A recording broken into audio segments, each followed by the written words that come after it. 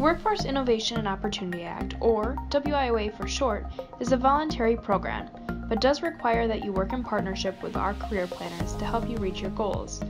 WIOA has three main goals 1. To help people obtain full time employment, 2. Stay employed, 3.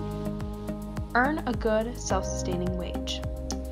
We reach our three main goals by having career planners work with job seekers on things like interest and aptitude assessments to better define career goals, training, resume and interview skills, determining a career pathway, creating a personal brand, networking, providing labor market information, and much more.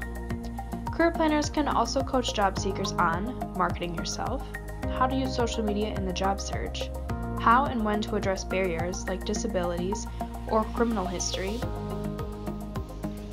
All of these services are open to the public at no cost, but there are eligibility requirements, so schedule an appointment to see if you qualify for the WIOA program and how Workforce Connections can help you get back to work as soon as possible.